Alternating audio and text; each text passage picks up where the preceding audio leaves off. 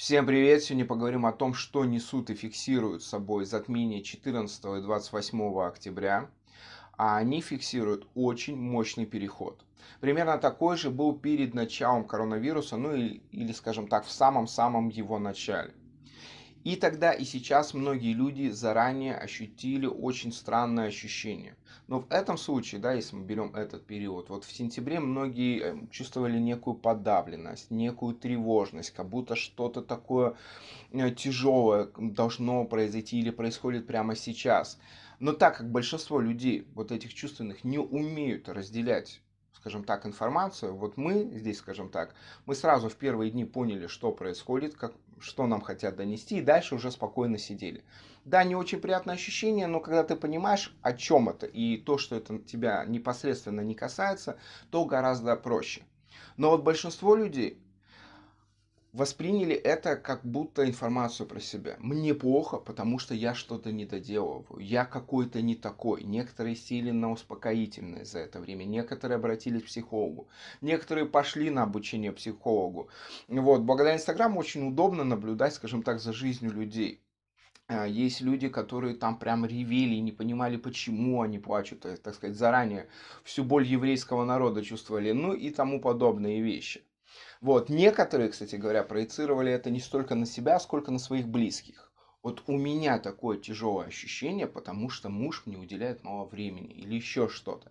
И это, конечно, негативно сказывалось на отношениях. Вот. Или это коллеги мои, твари. Вот, негатив тут создают, не любят они меня, поэтому я себе так ощущаю. Соответственно, это тоже ничего хорошего не несло. Поэтому учимся разделять. И здесь особый, особый я бы сделал акцент на эзотерик. То есть простые люди, ладно, откуда им это знать? Да, как это все разделить, как это, грубо говоря, просчитать. Но эзотерики, которые много лет практикуют и так далее. Среди них я увидел вот это повальное, так как они все более чувственны, среди них это была повальная тенденция, и фактически все они это восприняли на себя. То есть я какой-то не такой, я там что-то там и так далее.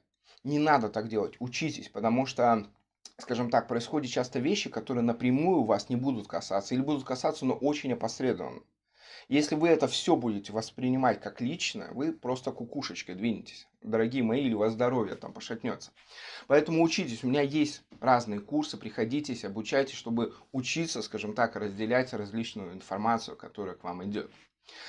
Возвращаемся к самому затмению, да, к самим этим энергиям. Что это за переход? Что он несет? Он несет очень жесткие энергии.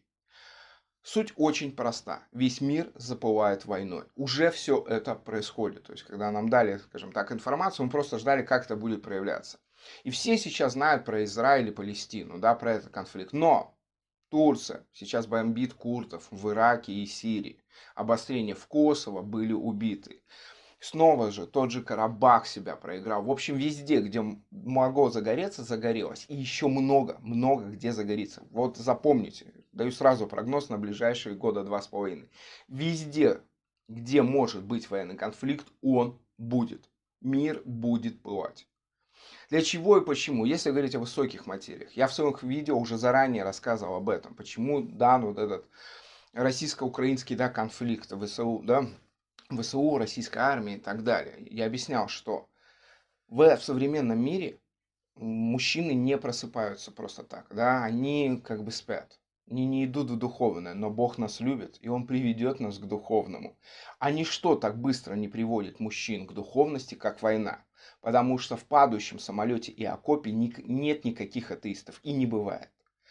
Вот ничего так быстро не приводит мужчин к духовности, как война. Но так как есть не только Россия, Украина на карте, еще много стран, соответственно, много где должно заплывать, чтобы мужчины проснулись. Вообще этот переход, он на самом деле, он фактически полностью о мужчинах. Именно мужчины должны просыпаться, чтобы вот этого не было, или проснуться для того, чтобы защититься. Вот где сколько кто проснется, тот и будет выигрывать на самом деле. То есть здесь очень четкое такое, четкое такое послание. Это если говорится, скажем так, о высоких да, материях. Если говорить более простыми вещами, как это все происходит. Вот у нас есть спецоперация на Украине. Там сходятся да, армии. И мужчины, как я и говорил, пробуждаются. Но, например, на стороне Украины ну, есть много, скажем так, или наемников их можно назвать, можно назвать добровольцами, это не суть важно. Из Польши очень много, есть из Германии, есть из других стран мира. И вот пока они там, они тоже пробуждаются, а потом возвращаются к себе на родину, если выживают, ну, например, в ту же Германию. Но они уже пробудившиеся. И они уже более смелые, они более жесткие, они более решительные. И, например, в той же Германии они могут уже по-другому посмотреть на проведение гей-парада. Или на то, как ведут себя всевозможные выходцы из стран какого-нибудь там, какой-нибудь Африки и так далее. И, соответственно, могут очень жестко на это прореагировать. И так начнется там дополнительное, скажем так, пробуждение. Есть еще одна тема, связанная такая военно-такого экономического плана. Западные страны фактически все свои запасы отдали Украине. Сейчас они пусты, ну, грубо говоря. Вот история с Израилем это очень четко показала. Тут же Израиль активно отдавал многие свои вооружения и боеприпасы Украине. А когда у него началась свои, скажем так, проблемы, выяснилось, что ему срочно нужны там ракеты ПВО для железной купола, и только США их может дать. И срочно их запросил. Но ему нужны еще определенные вещи которых уже фактически нет на складах. И вот, скажем так, все враги Запада это сейчас понимают, что если, например, Китай нападет на Тайвань, то Тайваню мало чем они смогут помочь. Может, есть еще и чисто экономический, помимо вот физического наличия снарядов, экономическое напряжение от войны, оно тоже очень серьезное. Запад фактически сейчас на грани. И он понемножечку начинает сдавать свои позиции. Это видно по Африке, где за последние полгода бывшие, скажем так, страны под влиянием Франции пошли, подошли под контроль России. То есть Франция в буквальном смысле отступает в Африке. Вот этот конфликт арабо-израильский, скажем так, он тоже показывает, что Израиль далеко не так силен, как многим казалось. И, соответственно, идет серьезное распыление сил. И многие-многие захотят этим воспользоваться. Раньше многие конфликты тормозились тем, что стороны понимали, что вмешаются, скажем так, третьи страны, серьезные и крупные, которые не дадут ему или разгореться, или примут какую-то там другую сторону и так далее. Сейчас эта тема будет уходить. Если, скажем так, конфликт между Израилем и Ираном будет разрастаться, потому что Иран там принимает, скажем так, активное участие, то все, этот как бы сектор, он там заплывает.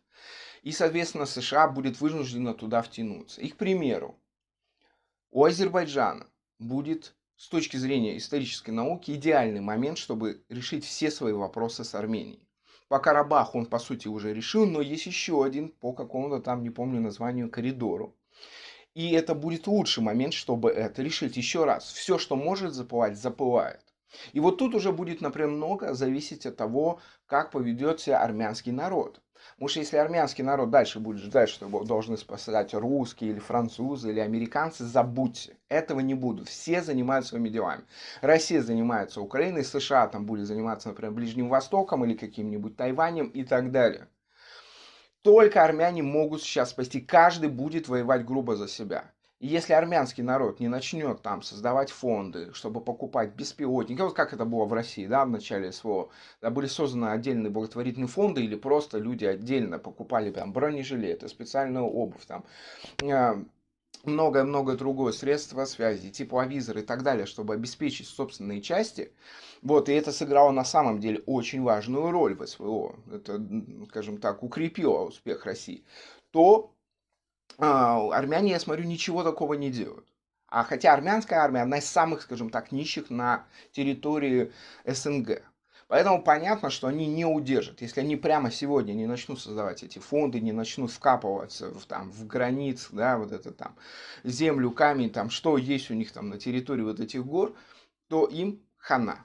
Все очень просто. И вот так будет везде по миру. В Косово, где-нибудь там, я не знаю, в Таиланде и так далее. Везде, где есть тлеющие конфликты, будут они. Это по-любому. То есть у нас, как бы, понимаете, вот этот, скажем так, огонь СВО, вот этот пожар, он дает искры. И они начинают разлетаться по миру, начинаются новые пожары, от новых пожаров будут новые искры. И так дойдет даже до территории США, по моим сведениям. В ближайшие годы весь мир еще раз запылает. Но в чем еще такая еще большая проблема? А, дело в том, что в свое время я делал такой маленькое такое видео прогноз. Я говорю, что чем хорош 2023 год? Это перекур.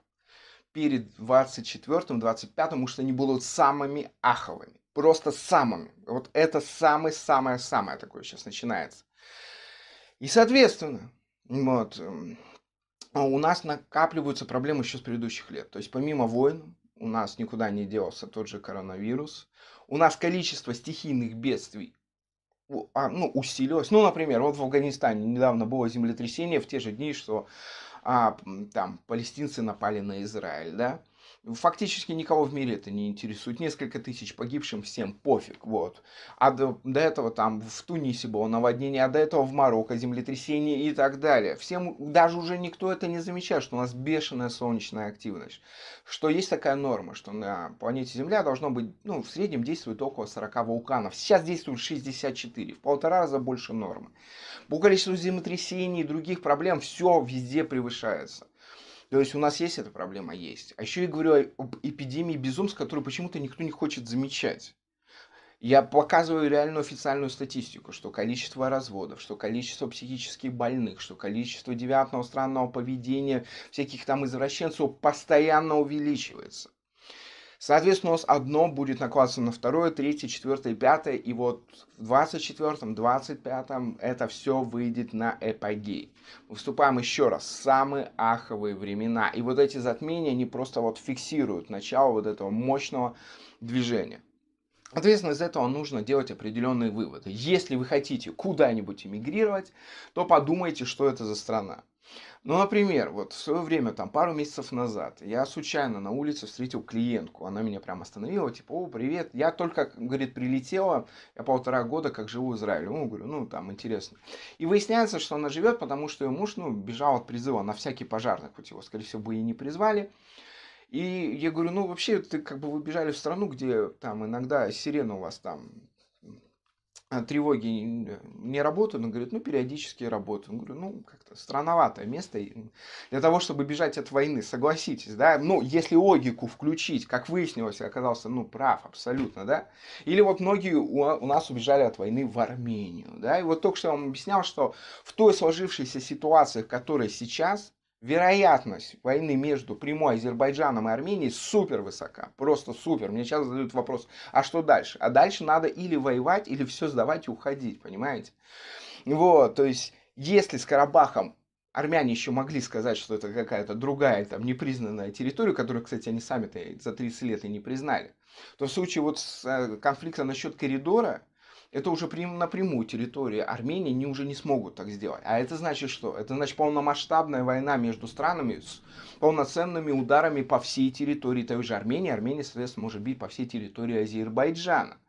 Вот, и, соответственно, вот эти огромное количество фрилансеров и флюренсеров всевозможных, им снова куда-то надо будет бежать. Предлагаю бежать заранее, понимаете?